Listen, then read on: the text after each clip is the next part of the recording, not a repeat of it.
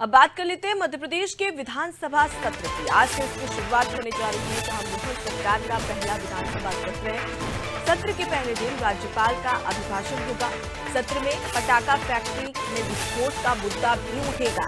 जहाँ विपक्ष के साथ सबसे बड़ा मुद्दा है। आपको बता दें कि विपक्ष सतपुड़ा भवन की आग का भी मुद्दा उठाने वाला है। तो पिछले दिनों हमने देखा था कि कुछ अ, महीनों के पहले जब पूर्व मुख्यमंत्री शिवराज सिंह चौहान की सरकार थी उस समय भी सतपुड़ा भवन में आग लग गई थी। उसका मुद्दा लगातार विपक्ष की ओर से उठाया जा रहा था। अब ये माना जा रहा है कि सदन में कहीं ना कहीं एक बार फिर से पटाखा फैक्ट्री में विस्फोट और सतपुड़ा भवन की आग को लेकर ये बड़ा मुद्दा हो सकता है। शबाना का रुख कर लेते हैं। शबाना आज से विधानसभा का सत्र शुरू होगा। कौन कौन से ऐसे मुद्दे हैं जो कि विपक्ष उठा सकता है सत्ता पक्ष पर हावी हो सकता है? चाहूँगी आज से म, म, पहली विधानसभा का सत्र है बजट सत्र है। विधानसभा बजट सत्र के पहले दिन राज्यपाल का अभिभाषण होगा।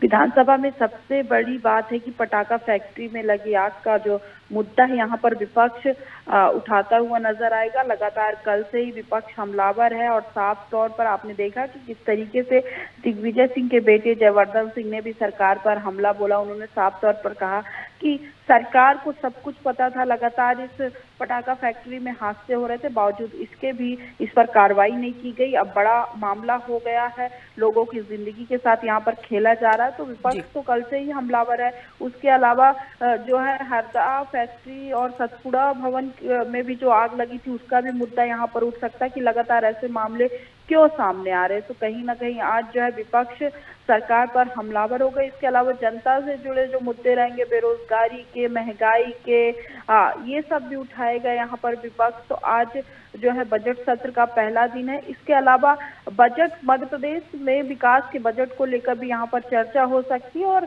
जो है सरकार जो है मध्य प्रदेश की जनता को बहुत सारी सौगात भी यहाँ पर देती हुई नज़र आएगी। जी, बिल्कुल, और लोकसभा चुनाव को काफ़ी कम समय बचा है। ऐसे में देखने वाली बात होगी कि आखिर विधानसभा सत्र में किस प्रकार से हंगामा देखने को मिलता है, विपक्ष कौन से सवाल उठाता है सत्ता पक्ष इसका किस प्रकार से जवाब भी दे पाता है। लौटूँगी आपके पास।